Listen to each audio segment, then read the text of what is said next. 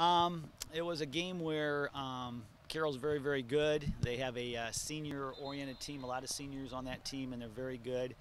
Um, we gave up an unfortunate goal in the first half, so we were down 1-0. Had a push, kept pushing in the second half, was able to get the uh, equalizer on a penalty shot. And then um, we basically had to hold on because they kept coming at us and coming at us. Um, we didn't want to go to penalty shots, but we really didn't have a choice or whatever. And whenever you go to penalty shots, we were fortunate to win the game. So um, our all of our shooters did very well, and uh, Catherine, our goalie, did very well in goal. It was obviously a very tough, very close game. Did you expect that from Carroll? Oh today? yeah, very close. They beat us uh, last week or a week and a half ago, 1-0. You know, and apparently a close game. And um, we knew that hopefully it was going to be close, and uh, it was, and we were just able to hang on.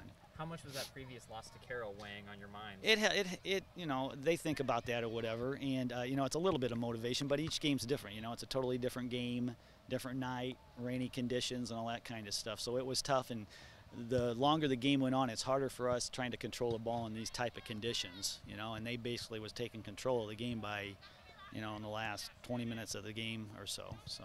Talk to me about the overtime periods and the penalty kick period.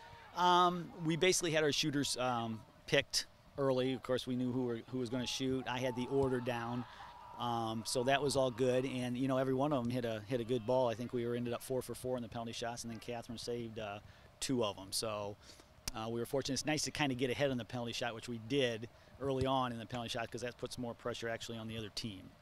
Um, even though you never want to go to penalty shots, uh, in that case, it worked out for us. Right. Talk to me about either Snyder or Northrop. Um, played both of them. Um, they're both uh, very good teams. Northrop's pretty fast, real fast, as a matter of fact. They're a fast team. Snyder's always good every year. Um, we were able to beat both of them, but they were both close games. So even though, um, you know, they're both in the SAC, and um, they're both really good with very good players on those teams.